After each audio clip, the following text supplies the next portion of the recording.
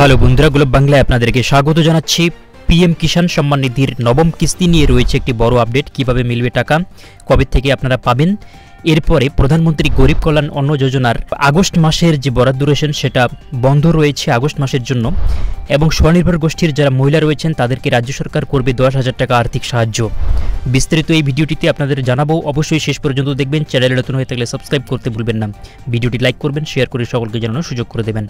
প্রধানমন্ত্রী কিষাণ সম্মান নিধি নিয়ে রয়েছে বড় আপডেট আপনি যদি এই যোজনার নবম কিস্তির টাকার জন্য অপেক্ষা করছেন, তাহলে এই খবরটি অবশ্যই জেনে রাখা জরুরি।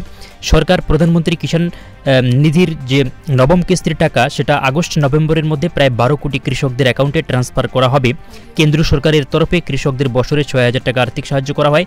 তো এই যোজনার সুবিধা কেবল তারাই পাবেন যাদের নামে চাষের জমি রয়েছে। পিএম কিষাণ পোর্টালে সাত জুলাই পর্যন্ত পাওয়া তথ্য অনুযায়ী বারো কোটির বেশি কৃষক নিজেদের এই যোজনায় রেজিস্টার করিয়েছেন। এই যোজনার অষ্টম কিস্তি একত্রিশে জুলাই পর্যন্ত কৃষকদের অ্যাকাউন্টে পাঠানো হবে। আগস্ট মাসে কেন্দ্র সরকার নবম কিস্তি জারি করা হবে। এই স্কিমে টাকা সরাসরি কৃষকদের অ্যাকাউন্টে ব্যাঙ্ক অ্যাকাউন্টে ক্রেডিট হবে। তো আপনারা কীভাবে চেক করবেন? আপনাদের নাম লিস্টে অ্যাপ্রুভ হয়েছে কিনা? এর জন্য PM Kisan dot gov dot in ওয়েবসাইটে ভিজিট করবেন। সেখানে হোম পেজে যে ফার্মার করোনার ফার্মার্স করোনার অপশন পাবেন, সেখানে ক্লিক করলে বেনিফিশিয়ারিস লিস্ট অপশন পাবে। সেখানে আপনারা নিজেদের রাজ্য, জেলা, ব্লক এবং গ্রামের নাম সিলেক্ট করবেন গেট রিপোর্ট অপশনে ক্লিক করবেন আপনারা আপনাদের যে লিস্ট সেটা আপনারা পেয়ে যাবেন। এরপরে যেটা গুরুত্বপূর্ণ আপডেট, জুলাই মাসের প্রধানমন্ত্রী গরিব কল্যাণ অন্ন যোজনার অধীনে রেশন গ্রাহকদের অতিরিক্ত বরাদ্দ, খাদ্য সরবরাহ করতে কিছুটা দেরি হবে। রাজ্য খাদ্য দপ্তর বিজ্ঞপ্তি জারি করে জানিয়েছে। তো কেন্দ্রীয় সরকার সংস্থা এফসিআই চাল এবং গম এখনও পুরোপুরি সরবরাহ করে উঠতে পারেনি। জুলাই মাসে চালের চাহিদার পঁয়ত্রিশ শতাংশ এবং গমের যে বাহাত্তর শতাংশ পনেরো তারিখ পর্যন্ত পাওয়া গিয়েছে, এই পরিস্থিতিতে কুড়ি জুলাই থেকে অতিরিক্ত বরাদ্দের খাদ্য দেওয়া হবে। সাধারণত এই অতিরিক্ত বরাদ্দ মাসের ষোলো তারিখ থেকে দেওয়া হয়েছে, এবার তা আরও কিছুটা দেরি হলো। তো জাতীয় খাদ্য সুরক্ষা প্রকল্পের আওতায় থাকা রাজ্যের যে ছয় কোটি দুই লক্ষ রেশন গ্রাহক এই অতিরিক্ত বরাদ্দ বিনামূল্যে পাচ্ছেন, মাসে মাথাপিছু দুই কেজি করে চাল, তিন কেজি করে গম দেওয়া হয়। তো করোনা পরিস্থিতির পরিস্থিতির জন্য এই অতিরিক্ত বরাদ্দ মে মাস থেকে দেওয়া শুরু হয়েছে। আপাতত এটা নভেম্বর মাস পর্যন্ত চলার কথা। তো জাতীয় প্রকল্পের রেশন গ্রাহক যারা রয়েছেন, অনেককে এখনও বরাদ্দের খাদ্য সংগ্রহ করতে দুই দফায় রেশন দোকানে আসতে হচ্ছে।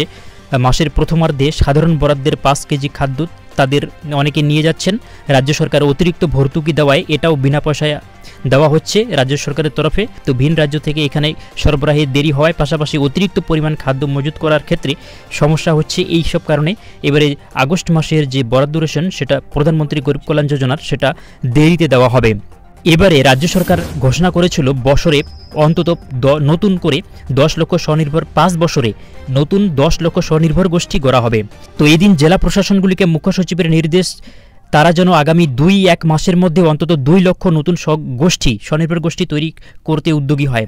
তো প্রশাসন জানিয়েছে সাধারণত মহিলা পরিচালিত স্বনির্ভর গোষ্ঠীর এক একটি গোষ্ঠীতে ন্যূনতম জন করে সদস্য থাকবেন।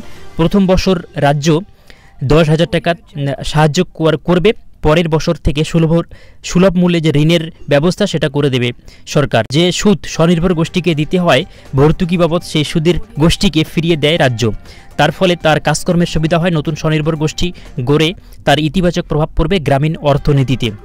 তো অবশ্যই যারা নতুন স্বনির্ভর গোষ্ঠী গড়া হবে, তাদেরকে প্রথম বছর রাজ্য সরকার দশ হাজার টাকা আর্থিক সাহায্য